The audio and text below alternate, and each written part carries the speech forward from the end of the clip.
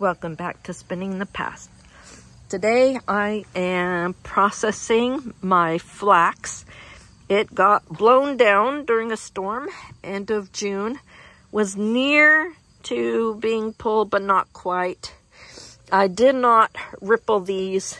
I'm just going to let, there's hardly any. It's little premature to have picked, but I just picked it anyways because it was blown over. Anyway, so as you could see, I just filled up baby pools. I got two baby pools here. Divided the flax that I had dried out. I'm putting it in here. Got some water. I'm weighing it down.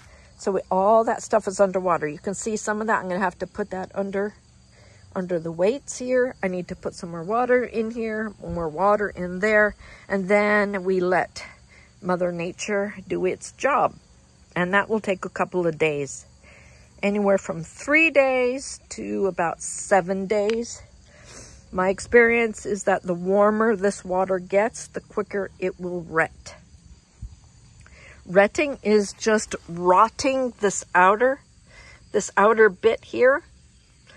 Inside here is where I is the flax fiber, but it's stuck to this outer thing. So once I rot this outer part, then the inner fibers will emerge. And that's just a beautiful sight. So I just wanted to show you, even if you live in the city, even if you have little acreage, anybody can grow flax. This is my 12th year growing flax. It's not a, not a big deal. Do this every year. I've had good luck with the baby pools. Um, yeah, so again, so I pulled this end of June then it dried for several weeks. I dried it out in a dry place. Then I put it in the water. Now it's going to rot or ret for anywhere from three days to seven days to 10 days, depending when it's ready. You just need to go out every day and test. That's tell you when it's ready. There is no date that I can set on that. It really depends year to year.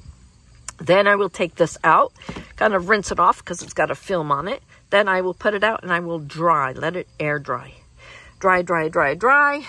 Then I will do the next process, which is to put on a flax break and get the outer, this outer part off from the flax fibers underneath.